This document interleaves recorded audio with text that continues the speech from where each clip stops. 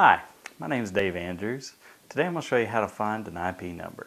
Let's go to our computer. And first we're going to see what our IP is. Click on the Start button. And right above your Start button, let's type CMD as in command and press Enter. This brings up a command prompt uh, that you can run on your desktop. So what I'm going to type here is ipconfig, which is a program that will list out the current IP assigned to this computer. I'm just going to press Enter.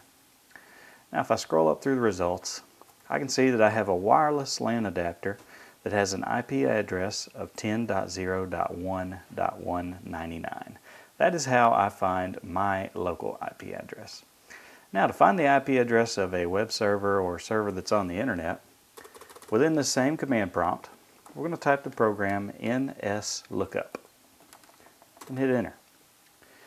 Now, let's type in the name of the, uh, the website or server that we want to look up.